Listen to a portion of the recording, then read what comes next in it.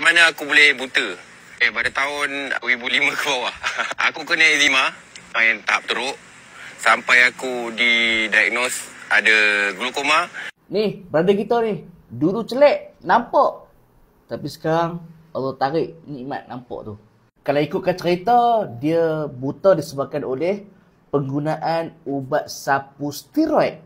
Sebab dia ada eczema dulu. Lama kelamaan menyebabkan glaukoma. Ha ni, dengar baik-baik. Yang duk ada eczema tu. Yang duk garu-garu tu kan. Ha, gatal-gatal tu kan. Gatal je sapu. Gatal je sapu. Gatal sapu. Sampai lupa ubat tu steroid. Hati-hati weh. Tahu kenapa aku cakap hati-hati? Walaupun ubat eczema steroid tu korang sapu kat kulit. Tapi kesannya bukan dekat kulit saja kau nampak. Dekat mata sekali. Eh, kulit kan banyak salur darah. Ubat yang kau sapu tu akan masuk dalam salur darah. Salur darah tu akan pergi seluruh badan. Ha, bila dia pergi ke mata. Ha ni, ni biji mata hampa. Dalam biji mata kita ni selalunya kebanyakan ada ayak. So apa steroid tu buat dekat mata kita?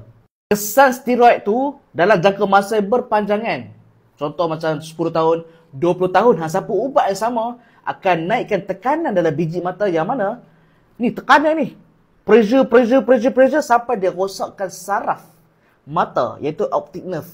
Saraf ni lah bagian penampak cik. Oi, kalau rosak saraf ni apa buta. Itulah glaukoma sebenarnya. Dia bukan eczema saja yang dia guna ubat sapu-sapu steroid ni. Eh, psoriasis pun sama juga guna ubat steroid. Dan banyak kajian saintifik yang ada link antara ubat steroid sapu dengan glaukoma. Lama-lama buta. Kalau eczema dekat muka, psoriasis dekat kepala, hu, lagi senang nak kena glaukoma. Ni, utamanya kan, kalau kita dapat ubat steroid yang jenis makan, hu, had makan lagi teruk. Lagi teruk. Kesan steroid ni bukan setakat dekat mata saya tahu. Hu, banyak kesan dia sebenarnya. Kadang-kadang muka kita macam bulat macam macam bulan tu. Kadang-kadang kat perut tu dia ada stretch mark, pecah lemak. Lepas tu macam uh, senang lebam. Ha, itu kita panggil sebagai Cushing syndrome. Kesan pada penggunaan steroid jangka masa yang panjang. Aku bukan setakat cakap ubat steroid untuk eczema ke ubat makan tu. Kadang-kadang dalam minuman korang. Ah, yang ni lah.